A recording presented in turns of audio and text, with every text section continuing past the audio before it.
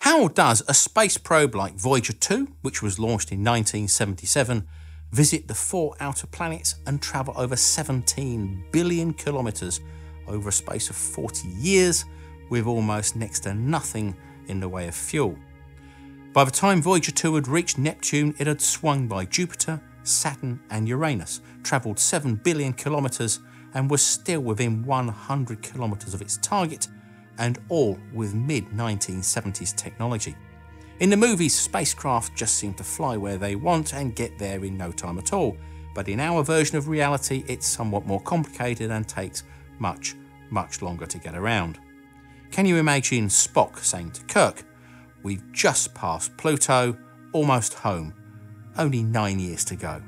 Just in case you missed the relevance of that, it took nine years for the New Horizons probe to get from Earth to Pluto, a distance of about 5 billion kilometres, and that was one of our fastest spacecraft. It might seem like an impossible task, but when you know how space and physics works, it becomes a set of procedures. Science fact instead of science fiction. And key to all of this is knowing how gravity works and how it affects not only you and me, but also everything in the universe. The German mathematician Johann Kepler first worked out the laws of planetary motion 400 years ago. Isaac Newton then used these as a basis for Newton's laws of motion and the creation of classical mechanics, the means by which we can predict the movement of everything in the solar system and beyond, including planets, comets, asteroids, and spacecraft, with incredible accuracy. Newton's first law states that an object at rest or travelling in a straight line will stay that way unless a force acts upon it. A rock, for example, on the ground won't move by itself unless something else picks it up or pushes it along. If that same rock were in space and moving in a straight line, it will not change its speed or direction of travel unless an external force acts upon it. In space, there is always a force acting on a moving body, and that force is gravity, be it from the sun, a planet, or even another rock. Anything with mass exerts a gravitational force. The larger the mass, the larger the force. The other component to a moving object is its speed. Newton's second law states that an object's speed will change when a force is applied to it. This is also reversible, so a force is generated when its speed changes. This is also the reason why an asteroid travelling at 17 kilometres per second and hitting the Earth can be so devastating. It can release a huge amount of kinetic energy with the sudden change in its velocity. If you fire a projectile on Earth parallel to the ground, it will eventually fall under the influence of gravity back to the ground. If you fire your projectile fast enough and it maintains that speed, it's still travelling in a straight line. However, Earth's gravity continuously pulls on it, and when the curvature of its trajectory matches that of the Earth, it's now said to be in orbit around the Earth. In other words, the force of a projectile trying to go in a straight line is matched by that of gravity pulling it back to Earth. This is how satellites and space stations stay in orbit, but they are also affected by the tiny amount of drag of a very thin atmosphere high above the Earth. This slows them down, and the force keeping them in their orbits becomes smaller. The balance between this and gravity gradually tips towards gravity as it pulls them down further. As they get lower, the atmospheric drag becomes even greater, reducing the speed even more. Without a periodic boost in speed to increase their orbit, they will eventually come back to Earth. If, however, a spacecraft increases its speed, the orbit will become larger and more elliptical, but it will always return to pass through the point where the speed was originally boosted. If the speed of our craft is increased enough, then it will escape the pull of Earth's gravity and enter an orbit around the Sun. Increase the speed more, and it will increase the size of its orbit. If we get the speed boost correctly timed with an approaching planet in what's called an opportunity, we can get the orbit of our spacecraft to intersect the orbit of a planet in a method known as the Hohmann transfer approach, which is one of the most common ways to get from one moving body to another, although there are now more efficient but much longer ways like the low thrust transfer method and the interplanetary transport network method. Once there, our spacecraft can either enter into an orbit around the planet, or we can use the planet's gravity to slingshot around it, or use gravity assist as it's known, and increase the craft's speed relative to the Sun. Gravity assist works by using a planet's gravity to pull on our spacecraft as it flies close by, and can be used to increase or decrease a spacecraft's speed, and as such, make its orbit larger or smaller and change its direction of travel. If our craft is flying in the direction of motion of that of the planet, then it will speed up. If it flies in an opposing direction, then it will decrease its speed. Depending upon how it approaches the planet, its course can be changed dramatically and can even leave travelling in the opposite direction. But there is no such thing as a free lunch.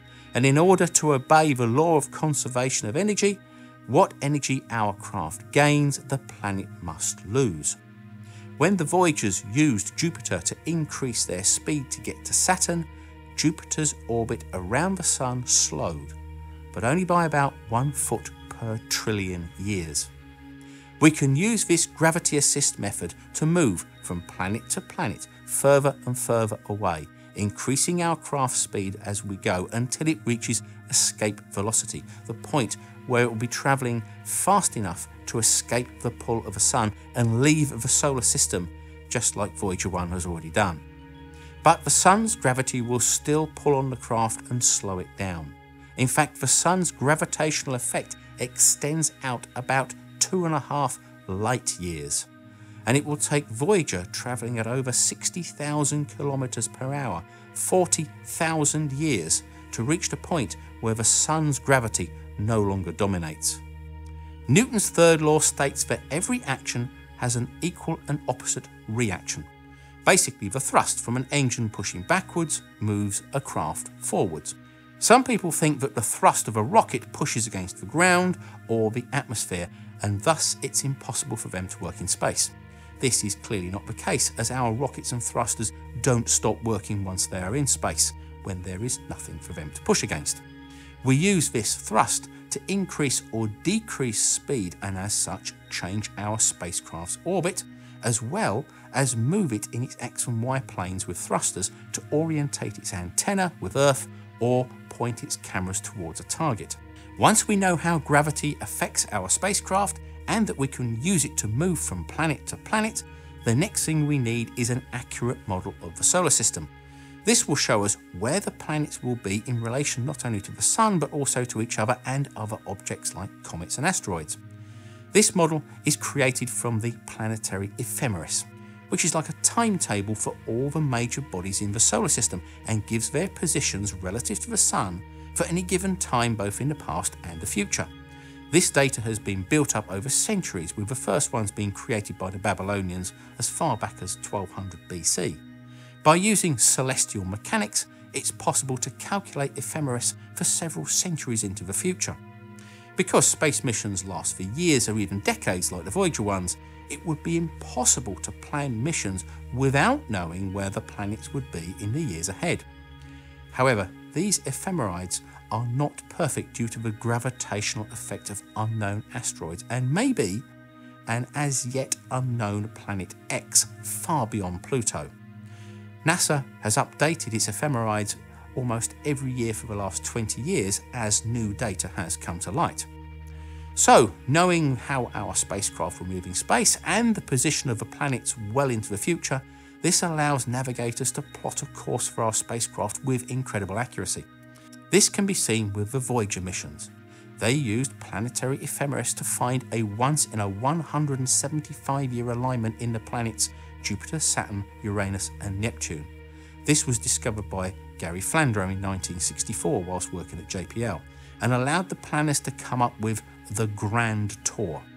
This would allow one spacecraft to visit all four planets by using gravity assist and cut the mission time from 40 years to less than 10 if they launched in 1977. The original Grand Tour was to include Pluto, but due to funding limitations, it was left out. But Pluto was visited by the New Horizons probe in 2015. Voyager 2 was the first to set off in 1977 on the grand tour of the four outer planets and eventually travelled out in the plane of the solar system. This same technique of gravity assist has since been used on the Galileo, Cassini, and the New Horizons missions. Voyager 1 launched three weeks after Voyager 2 on a quicker route to visit Jupiter and Saturn and do a flyby of Saturn's moon, Titan. But this would then put it on an upward trajectory and out of the plane of the solar system to interstellar space. On its way out, it was turned around so its camera could face back to Earth and take one last set of photos. These were the farthest images of the solar system ever taken, and one of them captured Earth's place in it, covering just 0.12 pixels in size, in the middle of a lens flare. The famous pale blue dot, as Carl Sagan called it, was taken 6.4 billion kilometres away, looking down at a 32 degree angle onto the solar system. Now we have a plan, we still need something to guide our spacecraft along its planned trajectory. For this, they use an inertial navigation system. Basically, this is a highly accurate system of gyroscopes, accelerometers, and other sensors that can detect movement of the craft in any direction in space. Using this information, the navigators can work out if the craft is on course. However, inertial navigation systems are mechanical devices and as such suffer from what is known as integration drift, tiny errors in gyroscopes and sensors. This is compounded over time because they calculate their position as they move along from the last previously calculated position. So, the longer they go, the more the errors build up. The error in a good system is less than 1.1 kilometers per hour. So, if a journey to Mars lasted 8 months, which would be 5,760 hours, then the error would be about 6,300 kilometres by the time it reached Mars. Far too much when you have to enter an orbit with an accuracy of just a few kilometres. To compensate for the integration drift, another fixed reference system is needed, and this is the stars. Just as marine navigators used a sextant to work out their position, spacecraft use optical sensors and cameras to determine their position and reset the inertial navigation systems. On the Apollo missions, the crew used a space sextant to correct the drift on the onboard navigation system. On the Voyager probes, they used a star tracker that could look for a very bright guide star, which in Voyager's case was Canopus. It also had a sun sensor that could be used in conjunction with a radio signal from Earth. Newer spacecraft have more sophisticated systems which use cameras to look for known objects like planets and even comets and asteroids, as well as the target itself.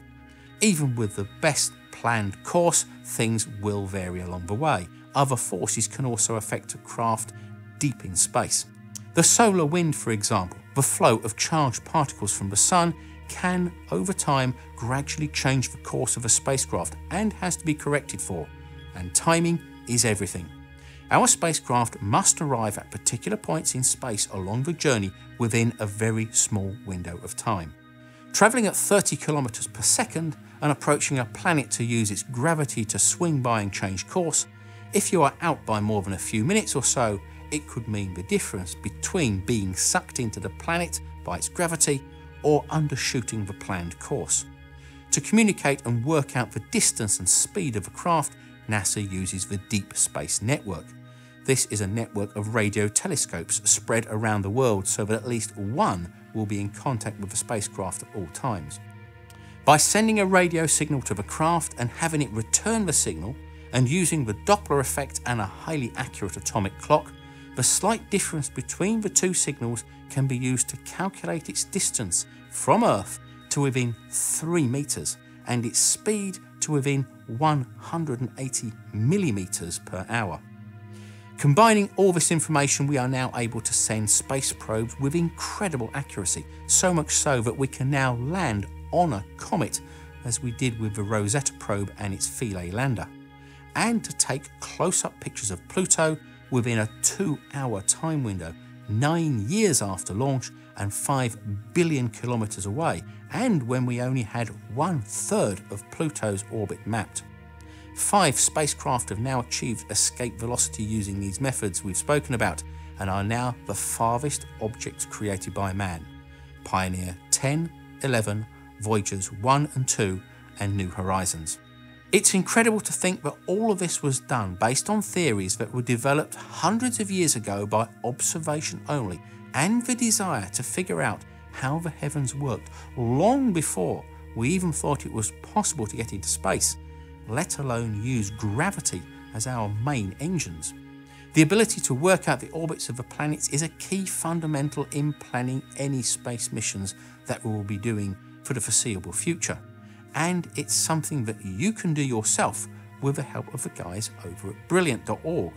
Brilliant is a problem solving website that allows you to learn by solving real world, or in this case, outer space problems.